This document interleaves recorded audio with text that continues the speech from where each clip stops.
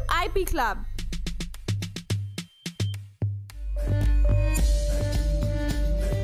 And also family restaurant with indoor as well as terrace dining. IP Club में birthday party anniversary kiddie party farewell या कोई भी मज़ेदार event आप organise कर सकते हैं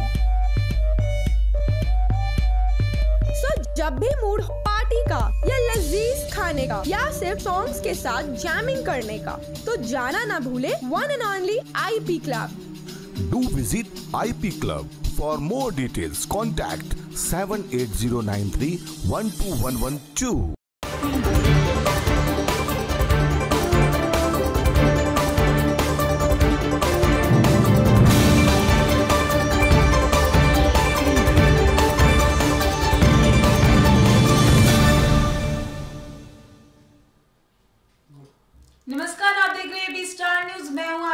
साथ माधुरी तिवारी शुरुआत करेंगे पहली खबर से। धरना देने वालों को नोटिस भेजे गए आपको बता दें, खबर पंजाब से आ रही है, जहाँ पर किसानों को नोटिस भेज दिए गए हैं।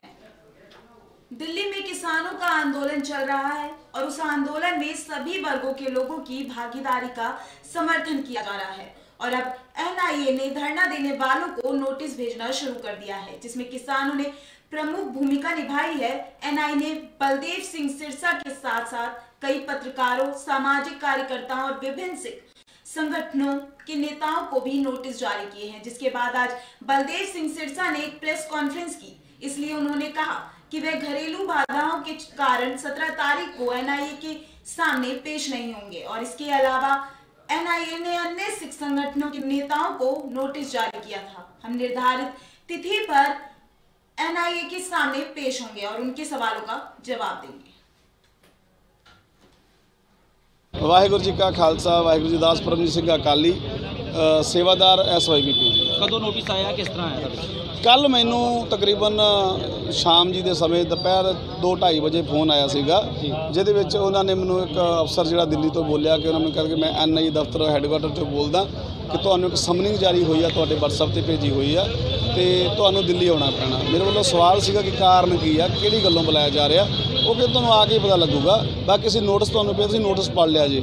ਨੋਟਿਸ ਆਉਣ ਤੋਂ ਬਾਅਦ ਮੈਂ ਸਾਡੇ ਜਿਹੜੇ ਵਕੀਲ ਨੇ, ਅਸੀਂ ਆਪਣੇ ਵਕੀਲ ਨਾਲ ਗੱਲ ਕਰੀ, ਪੁੱਛਿਆ ਵੀ ਇਹ ਕੀ ਮਸਲਾ। ਉਹਨਾਂ ਨੇ ਕਿਹਾ ਕਿ ਕਾਫੀ ਨੌਜਵਾਨਾਂ ਨੂੰ, ਸਿੱਖਿਅਤਾਂ ਨੂੰ ਆਏ ਨੇ। ਉਹਦਾ ਕਾਰਨ ਇਹ ਦੱਸਿਆ ਕਿ ਜਿਹੜਾ ਸਿੱਖਪੁਰ ਡਿਸਟ੍ਰਿਕਟ ਜਥੇਬੰਦੀ ਬੈਨ ਆ, ਉਹਨਾਂ ਦੇ ਉੱਪਰ ਇਹਨਾਂ ਵੱਲੋਂ ਕੋਈ ਪਰਚਾ ਦਰਜ ਕੀਤਾ ਹੋਇਆ ਵਾ ਯੂਪੀਏ ਲਾ ਕੇ। ਉਹਦੇ ਵਿਹਾਵ ਦੇ ਉੱਪਰ ਸਾਰਿਆਂ ਨੂੰ ਬੁਲਾਇਆ ਜਾ ਰਿਹਾ। ਜਿੰਨੇ ਵੀ ਹੁਣ ਤੱਕ ਨੋਟਿਸ ਨੇ, ਉਹਦੇ ਵਿਹਾਵ ਤੇ ਨੇ। ਹੋ ਸਕਦਾ ਕੋਈ ਡਾਊਟ ਹੋਵੇ ਉਹਨਾਂ ਨੂੰ, ਹੋ ਸਕਦਾ ਕਿਸੇ ਨਾਲ ਕੋਈ ਸ਼ੱਕ ਪੈਦਾ ਹੋਇਆ ਹੋਵੇ ਜਾਂ ਉਹ ਆਪਣਾ ਕਲੀਅਰ ਕਰਨਾ ਚਾਹੁੰਦੇ ਹੋਣ। ਉਸ ਕਰਕੇ ਉਹ ਬੁਲਾ ਰਹੇ ਨੇ ਹਾਂ ਬਿਲਕੁਲ ਅਸੀਂ ਪਹਿਲਾਂ ਵੀ ਏਜੰਸੀਆਂ ਸਾਡੀਆਂ ਨੇ ਅਸੀਂ ਜਾਣਦੇ ਆ ਜਾ ਕੇ ਉਹਨਾਂ ਦੇ ਡਾਊਟ ਕਲੀਅਰ ਕਰਦੇ ਆ ਕਿਉਂਕਿ ਅਸੀਂ ਕੋਈ ਵੀ ਗੈਰ ਕਾਨੂੰਨੀ ਕੰਮ ਨਹੀਂ ਕਰ ਰਹੇ खबर यूपी के हमीरपुर से है जहां पर एक युवक का शव मिला है पुलिस जांच में जुट गई है आपको बता दें खबर हमीरपुर से आ रही है जहां पर उत्तर प्रदेश के हमीरपुर ज़िले में आज एक युवक का शव पड़ा मिला है, जहाँ घटना स्थल पर कुछ अन्य लोगों के भी मौजूद होने के साक्ष्य मिले हैं, जिनमें से दो मोबाइल और चप्पल मौके पर पाए गए हैं। वहीं घटना की जानकारी मिलने पर मौके पर पहुँची पुलिस ने शव को कब्जे में लेकर पोस्टमार्टम के लिए भेज दिया है। ये मामला मौदहा कोतवाली क्षेत्र में साजन तालाब इलाके का है। यहाँ केवटरा के रहने वाले संजय निषाद का शव आज सुनसान इलाके में पड़ा मिला। शव के पास मिला खून से।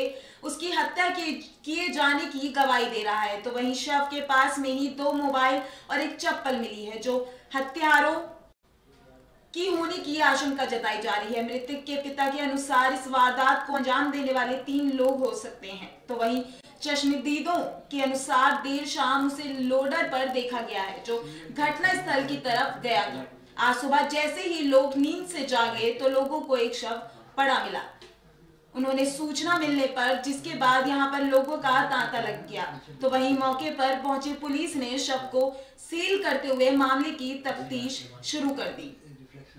पुलिस महकमे के आला अधिकारी भी डॉग स्क्वाड और फॉरेंसिक टीम के साथ साथ मौके पर पहुंचकर मामले की छानबीन में जुट गए। हम लोग रात में आग आग ताप रहे थे तो रात में दस बजे एक पिकअप गया था। तो पिकअप में हमने सात बजे पहले इनको देखा था घूमते हुए। बाकी ये नहीं बता सकते किसके साथ में था। बस उसी के साथ हमने यहाँ पर देखा था आते हुए रात में दस बजे। हम लोग अपने घर में आग आग ताप रहे थे तब देखा था हमने। कितने लोग रहे होंगे पिकअप में? ये नहीं देख पाए हमने बहुत दूर से देखा था कि पिकअप जा रहा है। हम लोग रात में आग आग ताप रहे मासर निसार जो केवटरा हुसैनिया थाना मौ- मौधा के रहने वाले थे। इनकी डेड बॉडी आज मिली है साजन तालाब के पास, एक कच्चा रास्ता उसी के पास। 112 नंबर की सूचना पर पुलिस वहाँ पहुँची है कि पहचान हुई, कुछ दूर पर ही इनका घर है और इनको थोड़ी खरोच और नाक वगैरह चोट लगी थी। डेड बॉडी को पंचायतनामा भर के पोस्टमार्टम के लिए भेजा गया है। घर वालों ने अभी कोई तहरीर नहीं दिया है। इस संबंध में पूरी जाँच चल रही है कि कैसे ये घटना हुई। जाँच के बाद या तबीर मिलने के बाद। खबर यूपी के सोनभद्र से है, जहाँ पर एक महिला पर हमला हुआ है। आपको बता दें, खबर सोनभद्र से आ रही है, जहाँ पर जिला अस्पताल रेफर किया गया है। सोनभद्र में हथियार से महिला पर हमला कर दिया गया। हमले में महिला गंभीर रूप से घायल हो गई। घायल महिला को सामुदायिक स्वास्थ्य केंद्र में भर्ती कराया गया। चिकित्सकों ने महिला की हालात गंभीर देखकर जिला अस्पताल रेफर कर दिया। जिला अस्पताल में चिकित्सकों ने महिला को मृत घोषित किया। भूत प्रेत बताया कारण। हत्या का कारण भूत प्रेत बताया जा रहा है। पुलिस मामले की जाँच पड़ताल में जुट गई है। मौत की सूचना पाते ही परिजनों में कोहराम मच गया है। घटना पन्नूगंज थाना क्षेत्र के बबनगवा गाँव की है। हुआ था इसमें वो जो है विजेंदर है। भूत प्रेत के कारण है इसका जान मार दिया। ये विजेंदर कौन है? विजेंदर गाँव ही का हमारे गाँव तो क्यों ये भूत प्रेत के चक्कर में इनको मार दिए? मार दिया साहब कि भूत लगाई है को वो कह रहा है कि भूत लगाई है हमको। क्या बहुत दिन से चल रहा था क्या ना ना ना ना बस साल भर छह महीना। ये विजेंदर कौन है वहाँ के? मौर्या है। क्या है ये? कुछ नहीं है आदमी है नागरिक। ये हमला किसी धारदार हथियार से हाँ, हुआ है? धारदार हथियार से। कि, कितने बजे की घटना है? ये तो घटना है तीन बजे की। क्या नाम है मृतिका का? तेतरी।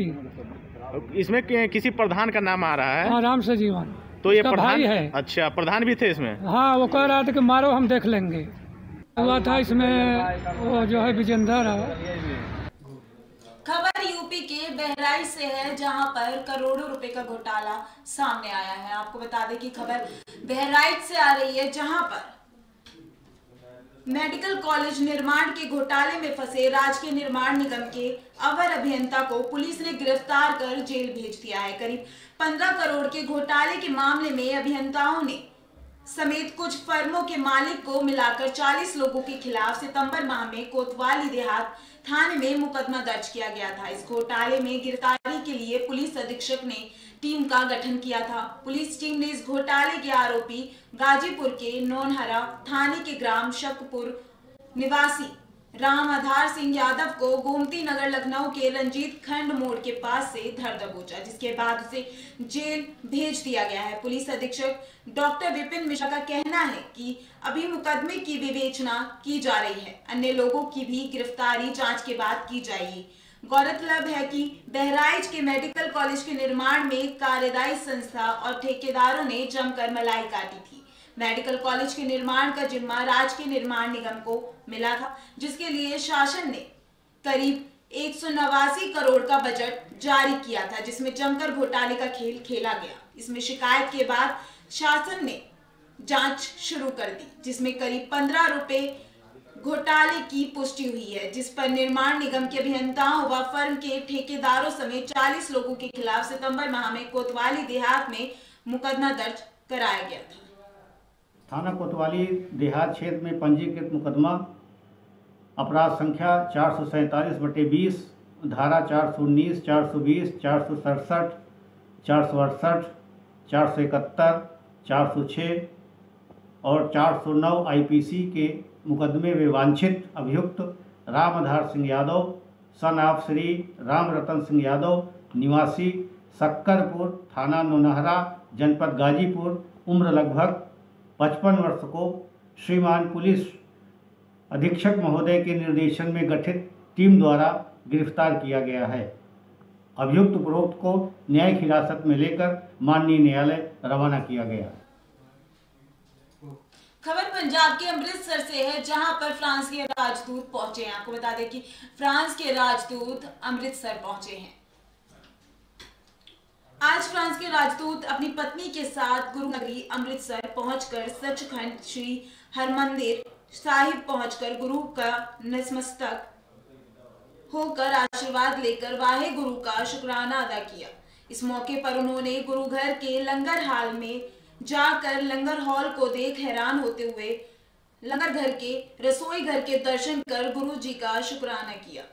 इस मौके पर उन्होंने कहा कि ये आकर सचखंड श्री हरमंदिर साहिब पहुंचकर गुरु घर नम, नमस्तक होकर आशीर्वाद लेकर वाहे गुरु का शुक्राना अदा कर मन को सक- सुकून मिला है। उन्होंने कहा कि यहाँ कोरोना महामारी के दौरान श्रद्धालुओं में उत्साह देखने को मिला जिसमें श्रद्धा की बहुत भावना देखने को मिली है। आपको बता दें खबर पंजाब के अमृतसर से आ रही है जहाँ पर फ्रांस के राजदूत पहुँचे हैं। आपको बता दें खबर फ्रांस के राजदूत पहुँचे हैं हरमिंदर साहिब पहुंचकर गुरु का नतमस्तक करके उनका आशीर्वाद लिया है। आपको बता दें, खबर अमृतसर से है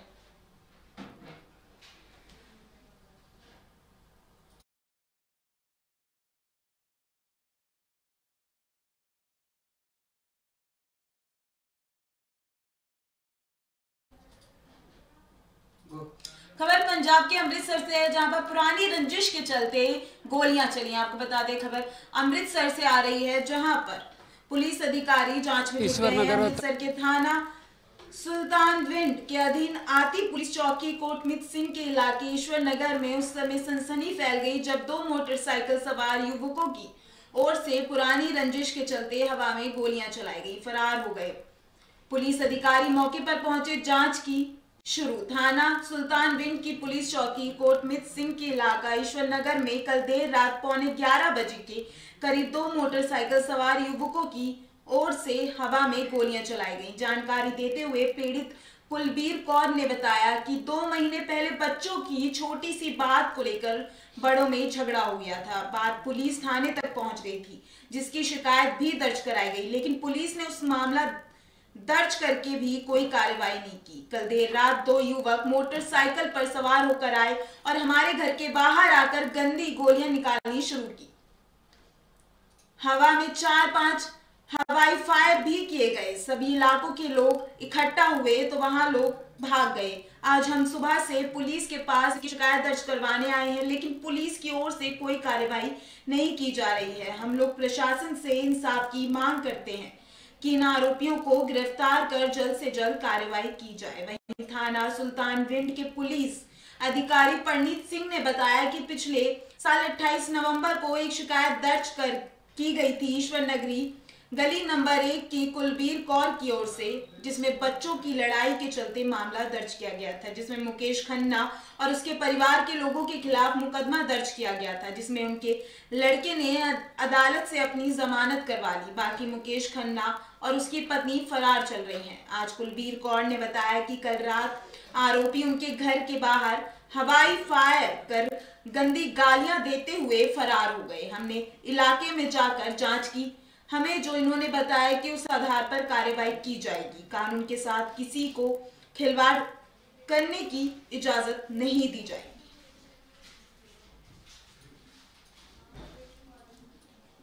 ਈਸ਼ਵਰ ਨਗਰ ਤਰਲੋਕ ਜੰਜਗਰ ਗਲੀ ਨੰਬਰ 1 ਦੇ ਰਹਿਣ ਵਾਲੇ ਹਾਂ ਕੀ ਗੱਲ ਹੋਈ ਹੈ ਜੀ ਇਹ ਬੱਚਿਆਂ ਬੱਚਿਆਂ ਦੀ ਲੜਾਈ ਹੋਈ ਆ ਤੇ ਮੁੜ ਕੇ ਉਹਨਾਂ ਨੇ ਗੁੰਡੇ ਬੁਲਾ ਕੇ ਤੇ ਘਰ ਦੀ ਤੋੜ ਭੰਨ ਕੀਤੀ ਆ 2 ਮਹੀਨੇ ਹੋ ਗਏ ਇਸ ਗੱਲ ਨੂੰ 28 28 ਨਵੰਬਰ ਦੀ ਗੱਲ ਆ ਤੇ ਉਸ ਤੋਂ ਬਾਅਦ ਮੁੜ ਕੇ ਆ ਰਾਤੀ ਫੇਰ ਆਏ ਆ ਤੇ ਫਿਰ ਮਤਲਬ ਕਿ ਫਾਇਰ ਕਰਕੇ ਗਏ ਆ ਤੇ ਡਰਾ ਧਮਕਾ ਕੇ ਰਾਜੀਨਾਮਾ ਕਰਨ ਨੂੰ ਕਹਿਣ ਡਏ ਆ। ਕੀ ਮੰਗ ਕਰਦੇ ਹੋ? ਅਸੀਂ ਇਨਸਾਫ ਦੀ ਮੰਗ ਕਰਦੇ ਵੀ ਉਹਨਾਂ ਨੂੰ ਕੰਪਲੇਂਟ ਕੀਤੀ ਪੁਲਿਸ ਨੂੰ? ਪੁਲਿਸ ਦੇ ਪਰਚਾ ਆਇਆ ਬਾਈ ਨੇਮ 452 ਦਾ ਪਰਚਾ ਆਇਆ ਕੋਈ ਕਾਰਵਾਈ ਨਹੀਂ ਕੀਤੀ ਇਹਨਾਂ ਨੇ ਬੰਦਾ ਫੜ ਕੇ ਛੱਡ ਦਿੱਤਾ। ਦੇਖੋ ਇਹ ਪਹਿਲਾਂ ਨਾ ਦੋ ਧਿਰਾਂ ਦੀ ਆਪਸੀ ਜਿਹੜੀ ਇੱਕ ਥੋੜੀ ਜੀ ਕਿਸੇ ਬੱਚਿਆਂ ਨੂੰ ਲੈ ਕੇ ਲੜਾਈ ਹੋਈ ਸੀ ਕੋਈ 2 ਕੁ ਮਹੀਨੇ ਪਹਿਲਾਂ ਦੀ ਗੱਲ ਹੈ। ਉਹਦੇ ਵਿੱਚ ਇੱਕ ਧਿਰ ਹੈਗੀ ਸੀਗੀ ਮੁਕੇਸ਼ ਖੰਨਾ ਤੇ ਇੱਕ ਜਿਹੜੀ ਆ ਲੇਡੀ ਆ, ਉਹਦਾ ਨਾਮ ਸੀ ਕੁਲਬੀਰ ਕੌਰ। ਉਦੋਂ ਕੁਲਬੀਰ ਕੌਰ ਦੇ ਬਿਆਨ ਤੇ ਕੇਸ ਰਜਿਸਟਰ ਹੋ ਗਿਆ ਸੀ ਮੁਕੇਸ਼ ਖੰਨਾ, ਉਹਦੀ ਵਾਈਫ ਤੇ ਔਰ ਉਹਦੇ ਲੜਕੇ ਤੇ। ਸੋ ਉਹਦੇ ਵਿੱਚ ਜਿਹੜਾ ਉਹਦਾ ਲੜਕਾ ਬੰਦਨ ਖੰਨਾ ਆ, ਉਹਦੀ ਅਦਾਲਤ 'ਚੋਂ ਬੇਲ ਹੋਈ ਸੀ ਤੇ ਉਹ ਇਨਵੈਸਟੀਗੇਸ਼ਨ ਜੁਆਇਨ ਕਰ ਗਿਆ ਸੀ। ਤੇ ਜਿਹੜਾ ਮੁਕੇਸ਼ ਖੰਨਾ ਤੇ ਉਹਦੀ ਵਾਈਫ ਹੈ, ਉਹਨਾਂ ਦੀ ਅਜੇ ਅਰੈਸਟ ਨਹੀਂ ਪਈ। ਸੋ ਇਹ ਪਾਰਟੀ ਜਿਹੜੀ ਕੰਪਲੇਨੈਂਟ ਹੈ ਜਿਨ੍ਹਾਂ ਨੇ ਪਹਿਲਾਂ ਪਰਚਾ ਦਰਜ ਕਰਾਇਆ ਆ ਇਹ ਇਹ ਅਲੈਜ ਕਰਦੇ ਆ ਕਹਿੰਦੇ ਆ ਕਿ ਕੱਲ ਰਾਤ ਨੂੰ ਵੀ ਉਹਨਾਂ ਨੇ ਬੰਦਿਆਂ ਨੇ ਹੀ ਆ ਕੇ ਹਵਾਈ ਫਾਇਰ ਕੀਤਾ। ਠੀਕ ਹੈ ਪੁਲਿਸ ਨੇ ਉੱਥੇ ਜਾ ਕੇ ਮੌਕਾ ਦੇਖਿਆ ਸਭ ਕੁਝ ਵੇਖਿਆ। ਇਹਨਾਂ ਦੀ ਅਸੀਂ ਸਟੇਟਮੈਂਟ ਲਵਾਂਗੇ ਜੋ ਇਹ ਸਟੇਟਮੈਂਟ ਦੇਣਗੇ ਅਸੀਂ ਅਕੋਰਡਿੰਗਲੀ ਉਹ ਕਾਰਵਾਈ ਕਰਾਂਗੇ ਔਰ ਦੋਸ਼ੀਆਂ ਨੂੰ ਪਕੜਾਂਗੇ। ਖਬਰ ਪੰਜਾਬ ਕੇ ਅੰਮ੍ਰਿਤਸਰ ਸੇ ਹੈ ਜਹਾਂ ਪਰ दिल दहला देने वाली घटना सामने आई है। आपको बता दें कि पंजाब से खबर आ रही है, जहाँ नाबालिग के साथ दुष्कर्म हुआ है। अमृतसर में दिल दहलाने वाली एक घटना सामने आई है। अपनी बहन के साथ उसके ताए के लड़के ने दुष्कर्म किया है। पीड़ित लड़की के रिश्तेदार की ओर से थाना गेट हकीमा में एक शिकायत दर्ज करवाई गई है। उनके एक रिश्तेदार की सात साल की लड़की है। वह अपनी दादी के पास रहती है। उसके साथ उसके सगे ताए के लड़के ने अपने चाचा की लड़की के साथ दुष्कर्म कर डाला।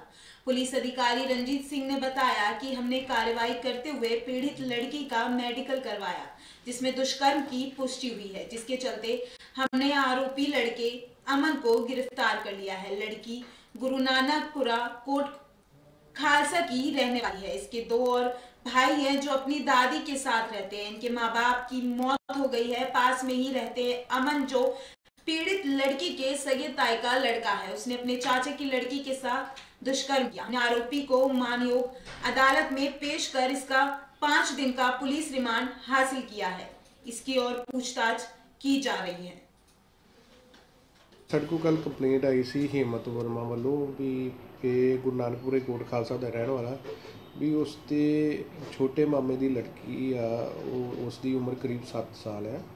ਜਿਹਦੀ ਉਹਦੇ ਮਾਮੇ ਦੀ ਡੈਥ ਹੋ ਚੁੱਕੀ ਆ ਤੇ ਉਹਦੀ ਜਿਹੜੀ ਮਦਰ ਆ, ਉਹ ਵੀ ਉਹਨੂੰ ਛੱਡ ਕੇ ਚਲ ਗਈ ਆ।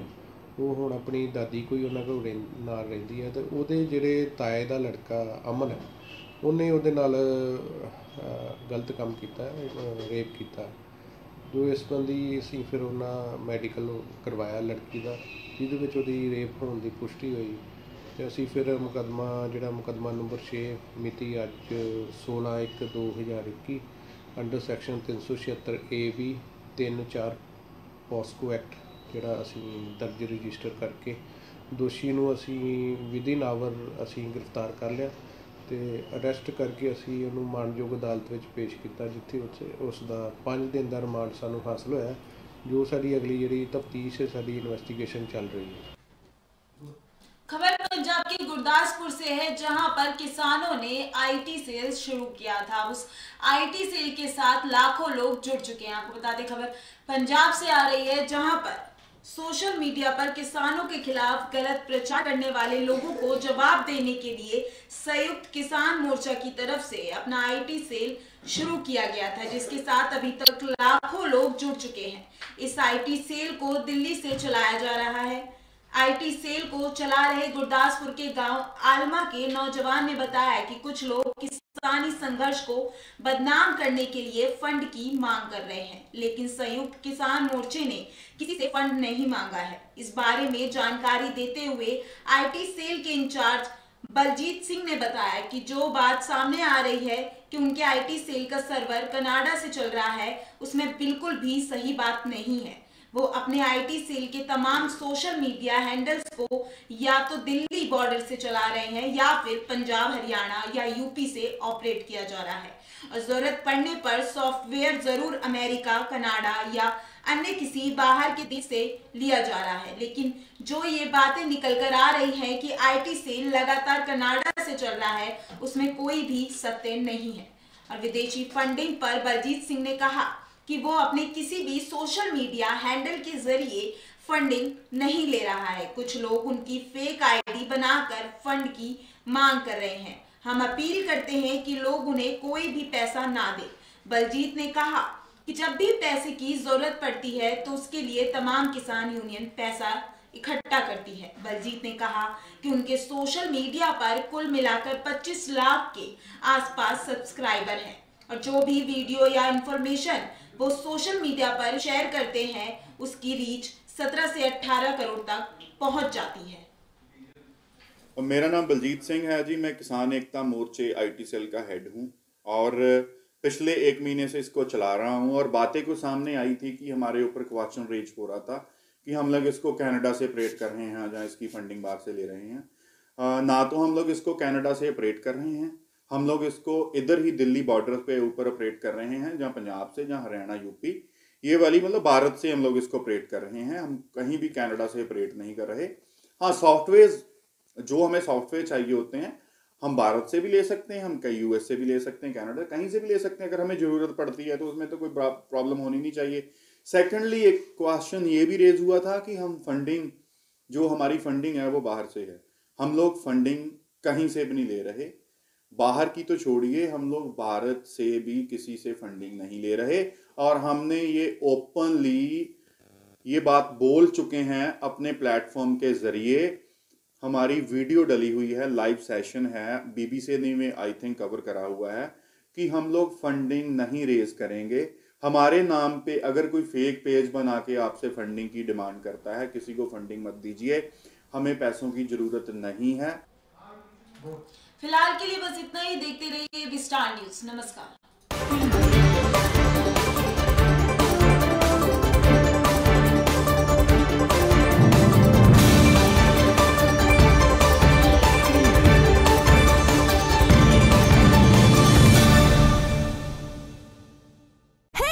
Welcome to IP Club.